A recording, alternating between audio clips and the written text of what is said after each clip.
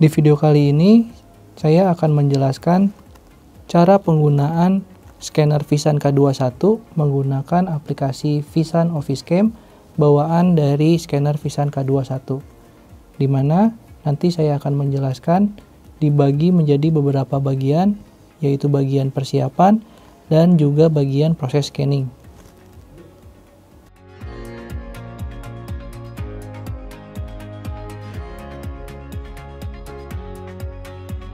Ini adalah tampilan aplikasi Vision Office Cam, di mana terdapat beberapa bagian yang nantinya akan kita gunakan pada proses pemindaian. Di bagian paling atas, di sini terdapat dua tombol, yaitu tombol bahasa dan juga tombol setting. Dua tombol ini digunakan untuk pengaturan aplikasi secara umum.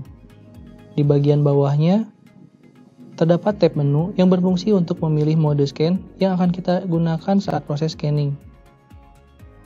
Nah, di bagian bawahnya, terdapat setting yang diperuntukkan khusus untuk mode scan yang kita pilih. Di bagian paling kiri, terdapat menu toolbar yang berfungsi untuk mengedit dokumen yang sudah di-scan. Di sampingnya, terdapat preview dokumen untuk melihat gambar-gambar yang sudah di-scan. Di bagian tengahnya, terdapat area real-time preview yang diambil dari perangkat scan Visan K21. Di bagian paling kanan, terdapat hasil scan yang sudah disimpan pada folder yang sudah ditentukan sebelumnya. Di sini, Anda bisa memilih folder, tempat penyimpanan, dan membuka dokumen yang sudah tersimpan. Dan di bagian paling bawah halaman utama, terdapat beberapa pengaturan kontrol untuk perangkat scanner Visan K21.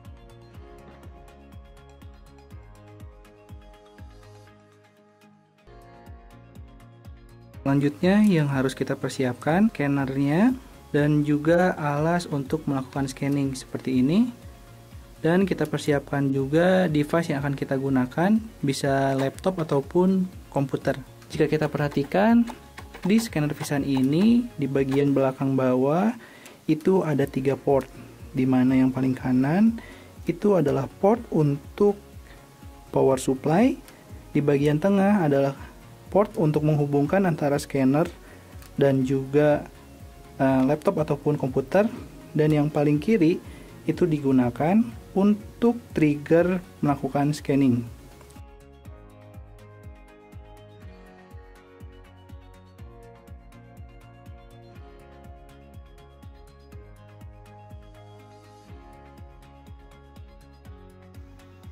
Pada bagian ini, saya akan menjelaskan bagaimana cara menggunakan aplikasi dari Visan Office Cam yang terkoneksi dengan scanner Visan K21 kita, di mana di sini saya akan menjelaskan metode scan menggunakan mode dokumen.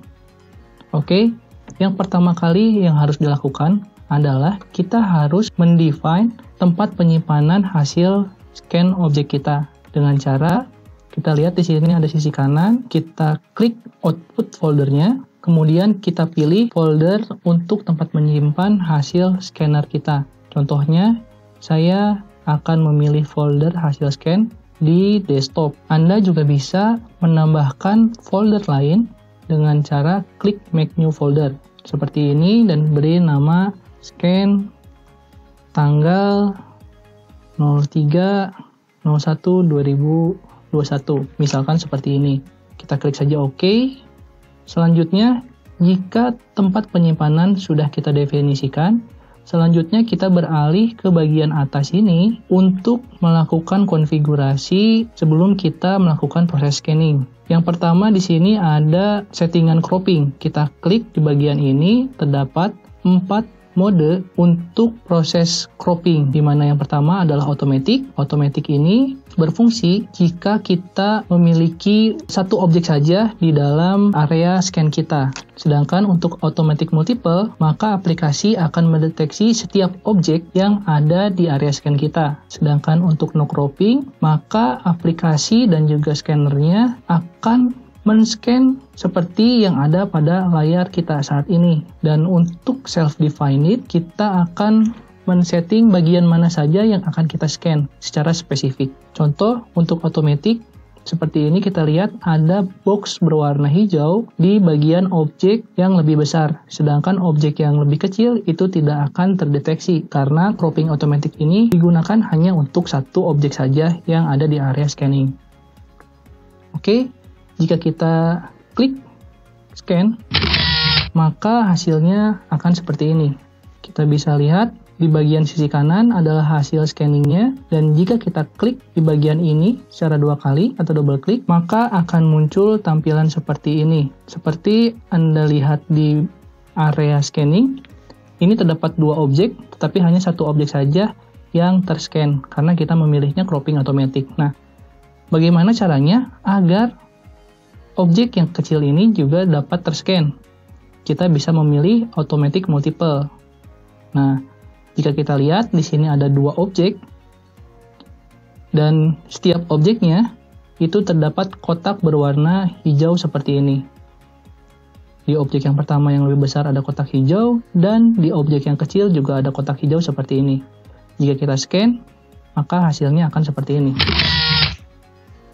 Hasilnya akan ada dua hasil scanning, yaitu objek yang pertama, yang besar, dan objek yang kecil. Jika kita klik, maka hasilnya akan seperti ini dan yang atasnya akan seperti ini. Oke, jadi Visan K21 ini secara otomatis akan memisahkan dua objek yang berbeda pada area scan jika kita memilih cropping automatic multiple. Bagaimana apabila Anda tidak ingin mengcropping secara otomatis, maka pilih no cropping saja.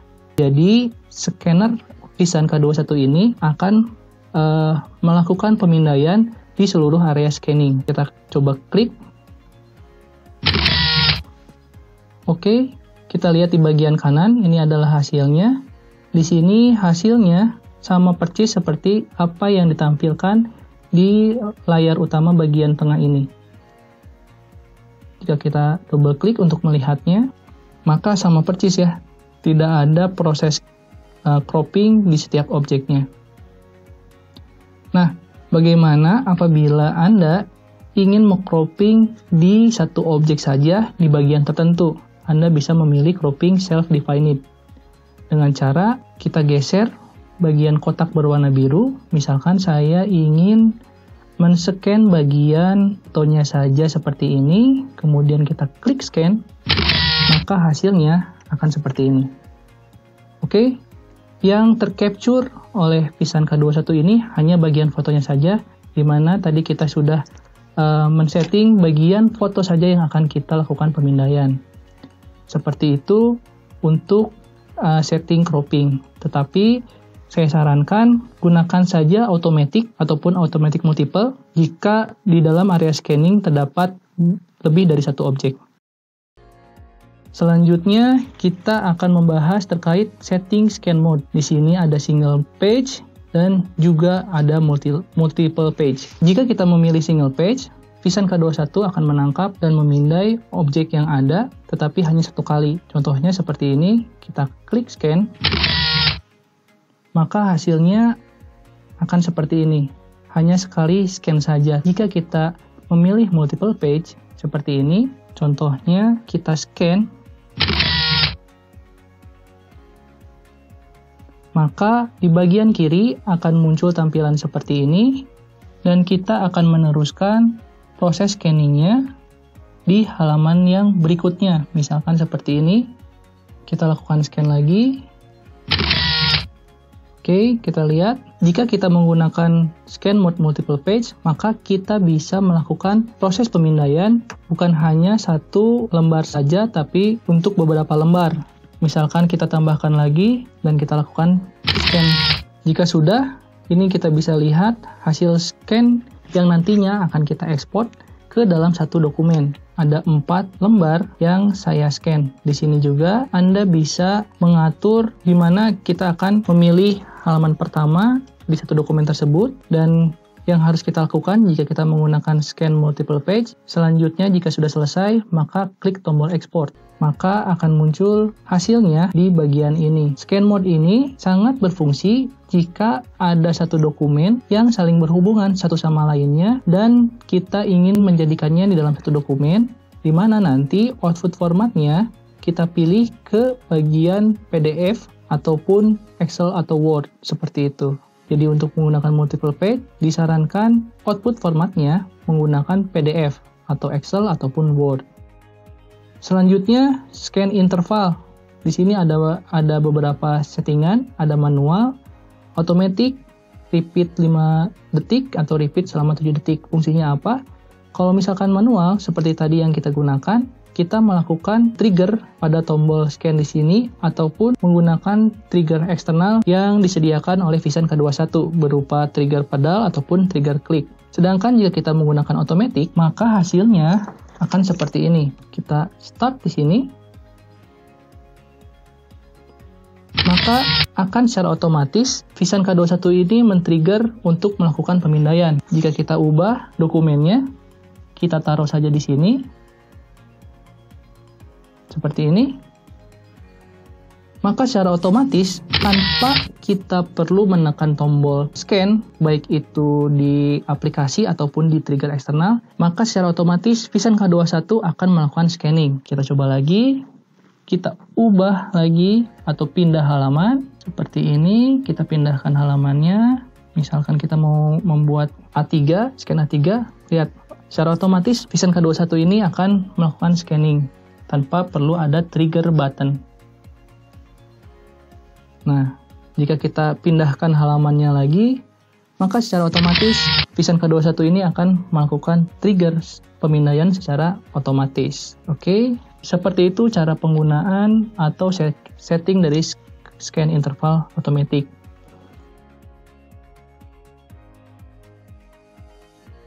Oke, jika sudah melakukan proses scanning, kita klik tombol stop saja dan semua hasilnya nanti bisa kita ekspor ke format JPEG ataupun PDF.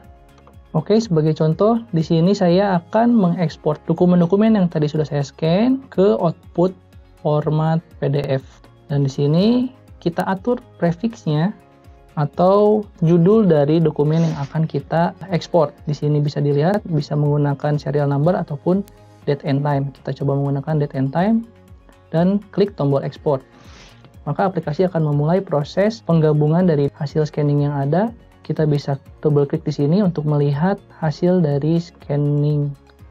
Lihat seperti ini, hasilnya akan digabungkan secara otomatis oleh aplikasi dan di dalam satu bentuk PDF dengan judul filenya yang sudah kita tentukan di sini. Seperti itu, itu untuk penggunaan scan interval otomatis. Nah, untuk repeat 5 second dan juga repeat 7 second itu nanti secara otomatis setiap 5 detik maka aplikasi dan Vision K21 ini akan melakukan scanning setiap 5 detik ataupun 7 detik. Saya sarankan untuk penggunaan proses penyekenan gunakan saja proses otomatis seperti ini. Nah, untuk setting edge fishing, auto page orientation dan punch hole removal Pastikan saja semuanya dicek karena fungsinya adalah edge fixing ini ketika Vision K21 ini memindai objek yang ada di areanya, maka dia akan secara otomatis untuk perhalus setiap sisi bagian yang ada di area berwarna hijau dan auto page orientation.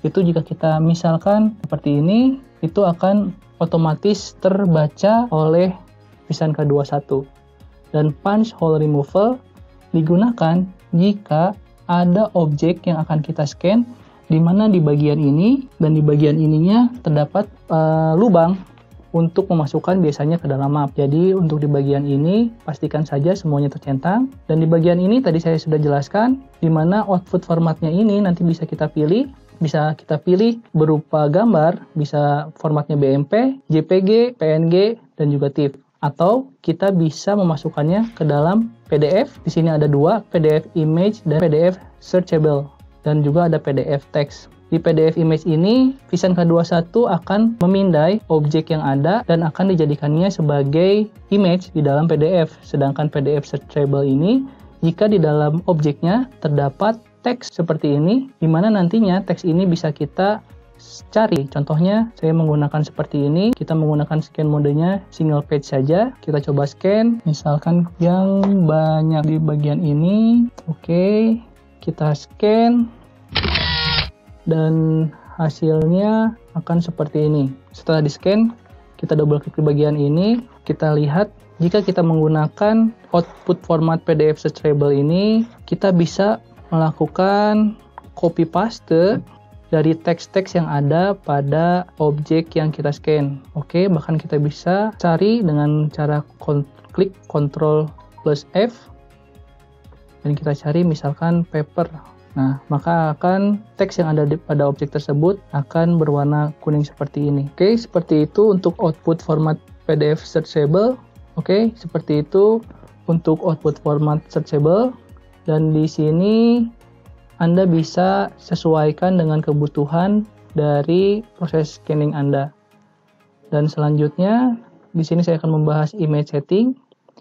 Di sini ada pilihannya, ada black and white dokumen, ada color, ada grayscale. Di mana di sini uh, disesuaikan dengan kebutuhan. Apabila dibutuhkannya berwarna putih saja, kita bisa pilih black and white. Jika kita ingin men-scan objeknya dengan warna yang ada di dalam objek, maka kita pilih color original dan color enhance.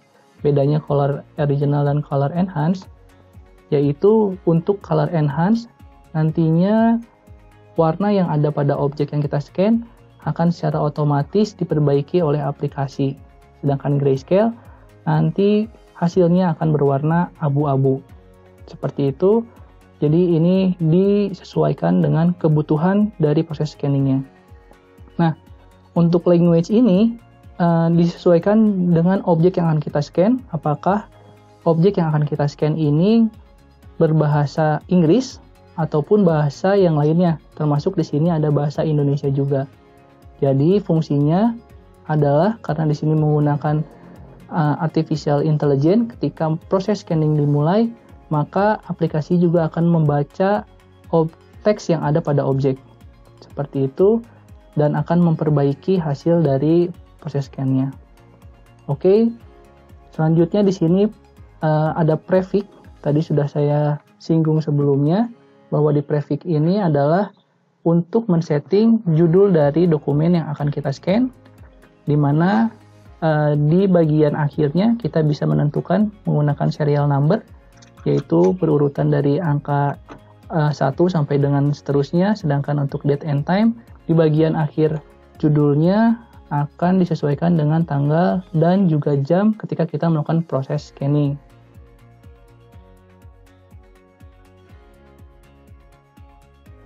Oke, seperti itu. Semoga video ini bermanfaat. Terima kasih.